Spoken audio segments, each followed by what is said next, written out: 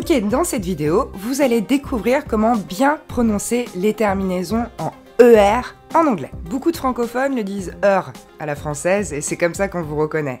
Mais je vous rassure, ça va se corriger très très simplement. C'est parti. Au lieu de prononcer cette terminaison en ER en disant ER, vous allez remplacer ce ER par le simple son E, comme le E français.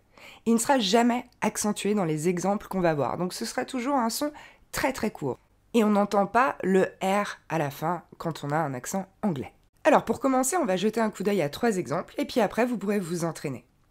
Alors pour vous expliquer un petit peu la slide, en gras, euh, c'est le mot écrit. Juste en dessous en bleu, en italique, c'est la transcription phonétique. Et en dessous, la troisième ligne, eh bien, c'est une indication de phonétique bâtarde, hein, ça n'existe pas, mais quand je peux, j'essaye de vous l'écrire à la française euh, pour que vous vous embêtiez pas justement avec le système phonétique. Bon, ça n'est pas toujours possible, vous voyez pour le troisième exemple, et dans ce cas-là, il bah, faudra simplement bien répéter après moi.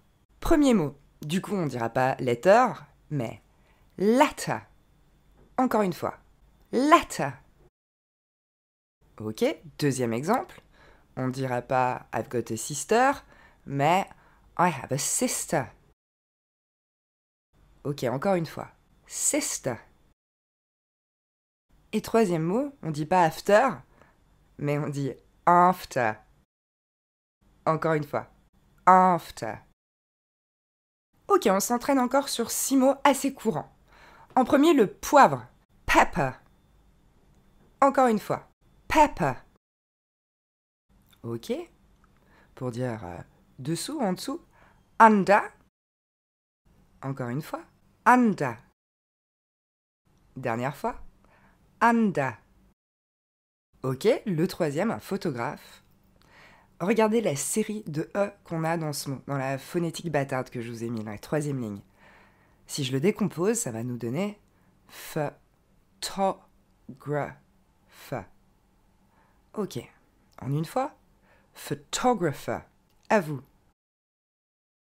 Encore une fois, photographer. Un doigt ne se dit pas finger, mais finger. Encore une fois, finger. En deuxième, un avocat. Alors ça, fait partie des, des mots que les francophones prononcent plutôt mal. Donc c'est pas lawyer, mais c'est lawyer. Encore une fois, lawyer. Et on finit avec le mot autre, qui va se dire other. Encore une fois, other. On est très loin de other, si j'exagère vraiment l'accent français. Ok? On reprend. Other. Le papier ne va pas se dire paper, mais paper.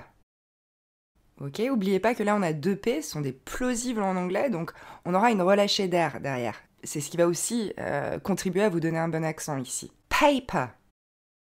Encore une fois. Paper. Ok, deuxième mot. Cover. Encore une fois. Cover. Troisième mot. On dit pas ever, mais ever. Ok, il faut bien accentuer la première syllabe. Ever. Et on finit avec number. Encore une fois, number. Et voilà, on dirait un détail, mais c'en est pas un du tout. Essayez de maîtriser ce point, vous verrez, ça améliorera nettement votre accent anglais. Vous pourrez toujours vous rentraîner sur cette vidéo, voire même couper le son si vous voulez vous entraîner seul. À bientôt